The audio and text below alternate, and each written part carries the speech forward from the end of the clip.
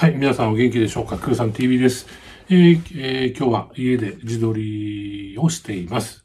えー、早速ですが、今日の話ですけども、えー、相続した不動産は売るべきなのか、相続した不動産は売るべきなのか？という話をしたいと思います。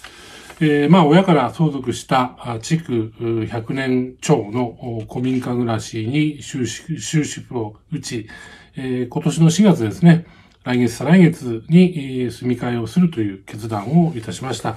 まあ、親から相続した不動産、例えば家とかマンションとか土地あると思うんですけども、まあそれを売るべきか、売らざるべきかを、まあ悩んで悩んでおられる方々も多いと思うので、えー、私自身が今、こういう住み替えを決定して、え、断捨離を進めている状況なので、え、私の考え方をちょっと整理してお伝えしたいと思って動画を撮っています。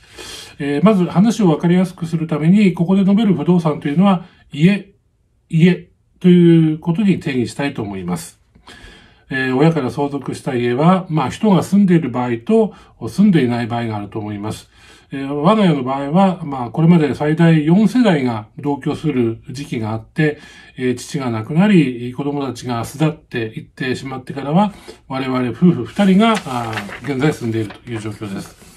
えー、我が家のようにですね、まあ、相続した家を売るかどうかを迷い始めたきっかけは、まあ、この家が、まあ、夫婦二人の、まあ、終わりの住みか、最後の家としてふさわしいかどうかという、まあ、素朴な疑問から、あその、こういう考え方が始まりました。えー、まあ、地球100年を超えている我が家は、約30年前に父が亡くなったタイミングでリフォーム工事をしました。えー、回収費用は約800万円で、まあ、父が自営業してましたんで、まあ、店舗部分を、まあ、今と車庫に、そして、えー、母屋の2階の天井裏のスペースを子供部屋2部屋へと改築しました。えー、まあ、この家は昔の海鮮問屋だったので、まあ、大黒、大黒柱が太く、まあ、土蔵もあり、えー、建てられた時代にはそれなりにお金をかけた家だと思うんですけども、我々、えー、60歳を過ぎた夫婦が、これからも住み続けることを想定したときに、えー、立て付けのガタがひどくなってきたり、まあ、水回りの配管や設備の老朽化が激しくなってきたり、まあ、さらに、えー、ここにリフォームとかバリアフリー施工をしても非常にコスパが悪いというふうに考えました。え、そこで模索し始めたのが、まあ、住み替えという選択です。え、住み替えの方法としては、まずは今の家をこのままにして、また新しい家を買うという選択肢がありますし、また今の家を売って新しい家を買うという選択肢もあります。えー、新しい家は、まあ中古建てなのか、それともマンションなのかという選択肢も考えられます。しかし、まず、私が考えたのは、まあ、この家を子供たちに残していいのかという観点です。まあ、子供たち、まあ、長男、長女、共に結婚して県外に住んでましたけども、えー、彼らの意向を確認してもですね、まずこの家を相続する、そして住み、住むという考えはないということが、まあ、分かりました。まあ、さらに、まあ、この家をこうそのまま子供たちに相続させた場合、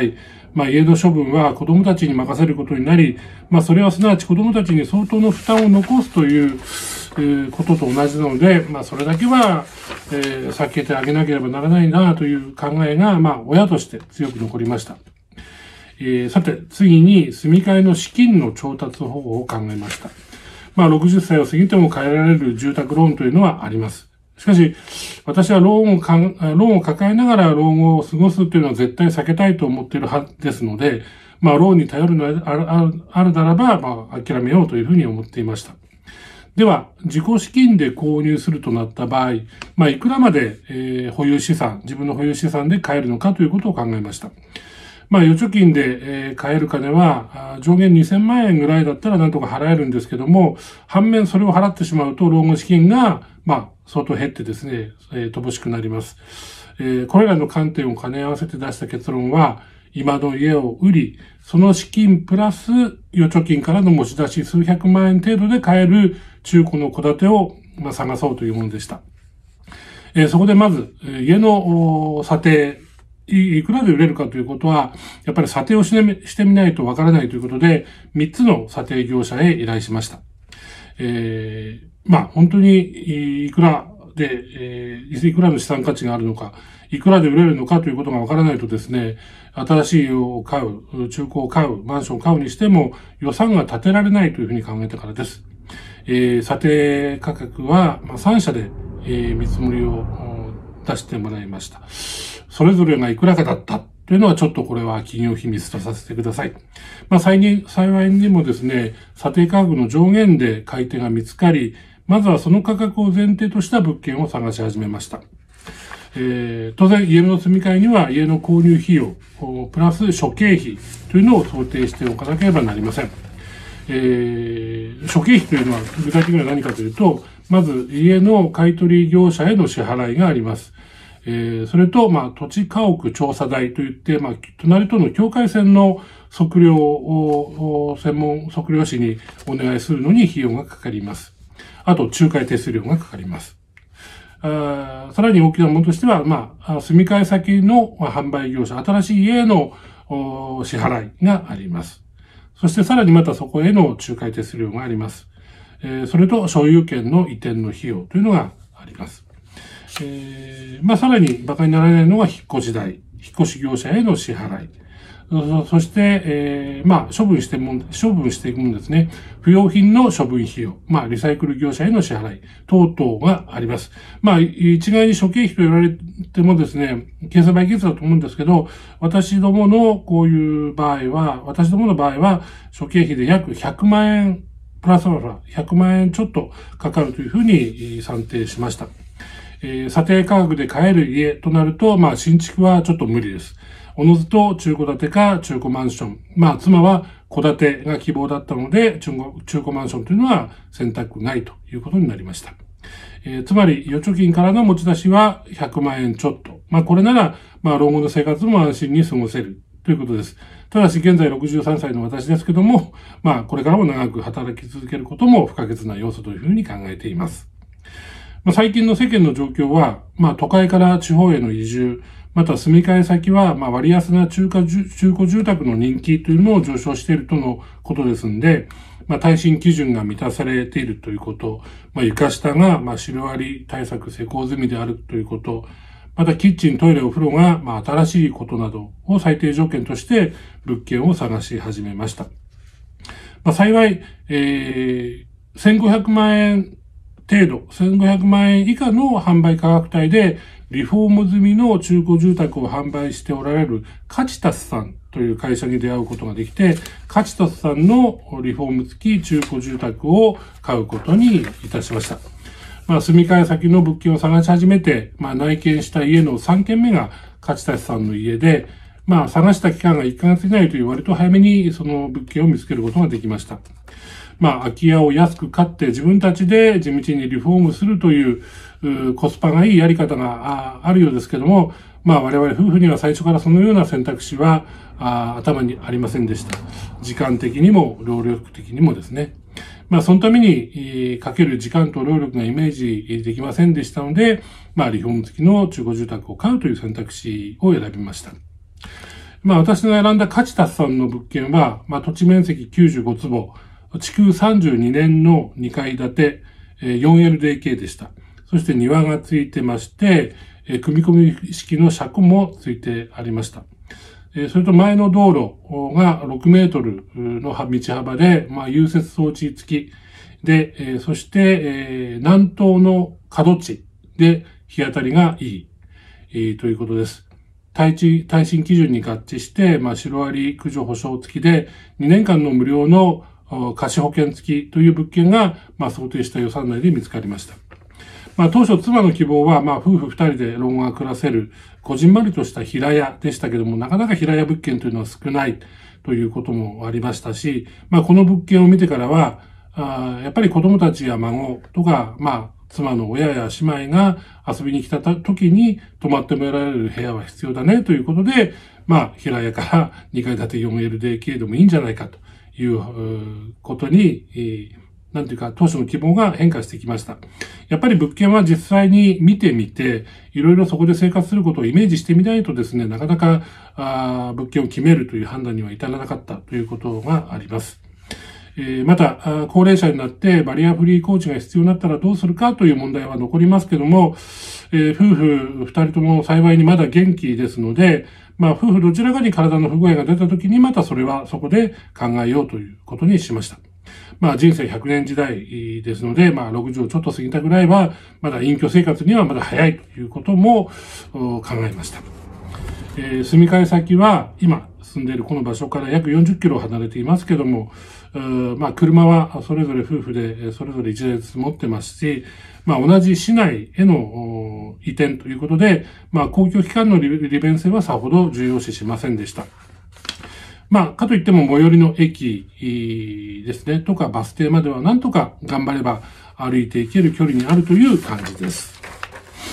まあ、従来はリフォーム工事完成後の内見で、まあ、購入判断をするのが常識だったようですけども、まあ、昨今の中古住宅の人気のせいか、リフォーム工事中での制約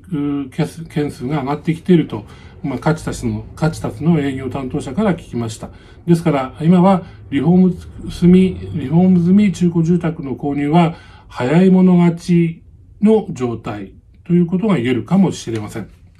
えー、ちょっと話が長くなりましたけども、まあ、相続した不動産は売るべきかという今回のテーマですが、まあ、私の場合は、まあ、親から相続し、住み続けていた家は、まあ、老朽化のための住み替えが必要だと判断し、今の家を売って、リフォーム済み中古住宅をローンを組まずに、今の家の売却資金と、え、多少の持ち出しで購入したという結論になります。えー、2020年はさらにインフレが進む年だというふうに言われてますんで、まあ中古住宅の価格も上昇すると思います。まあ住み替えの決断は早い方がいいというふうに思っています。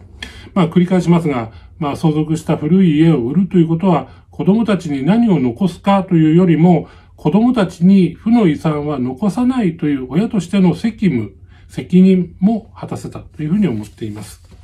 えー、我が家の住み替え先は、まあ、築32年の中古住宅なので、まあ、高断熱、高気密性能はさほど期待はできませんが、まあ、外壁が再塗装済みで、水回りの設備も新品ですし、まあ、壁のクロスや床のフローリングも新品に張り替えてあり、まあ、ちょっと見は新築住宅なので、まあ、今後子供のどちらかが、まあ、同居するか、まあ、相続するかという場合でも、それなりの快適な住み心地が確保されて、まあ、しかもそれなりの資産価値は残すことができたかなというふうに思っています。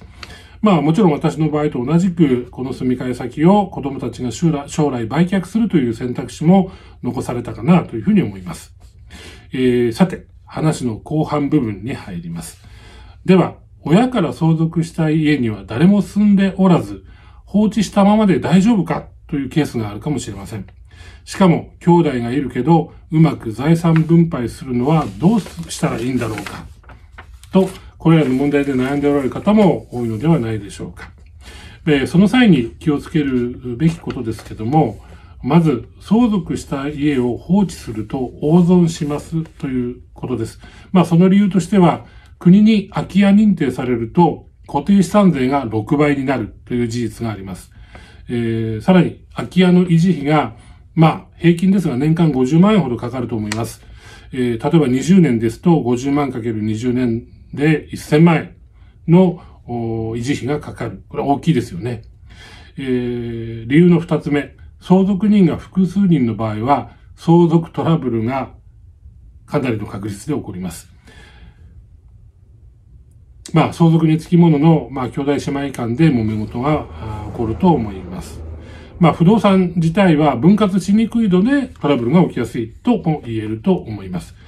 ならばどうするかですけども、まあ、相続する不動産を売却して現金化してから、その現金を兄弟姉妹で分割するのがいいと思います。これを換価分割と言います。えー、換金の間に価格の価、換価分割と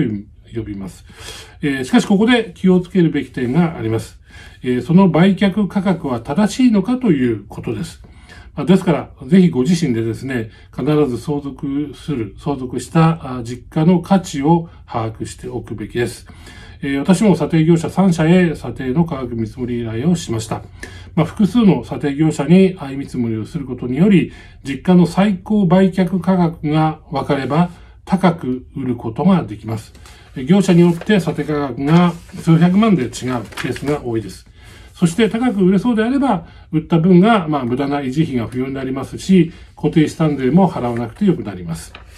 えー、そして、兄弟姉妹で話し合って、感化分、感化分割する際も、まあ、それぞれが納得できる金額を得ることができ、トラブルがぐんと減ると思います。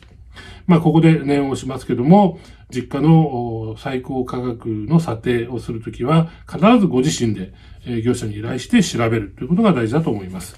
今はネットでも査定ができる時代ですが、まあネット査定もいいんです。ネット査定で大体査定価格の範囲を自分なりに把握しておいて、知り合いとか地元の複数の不動産業者さんに実際に実家を見てもらって査定してもらうというこの方がいいと思います。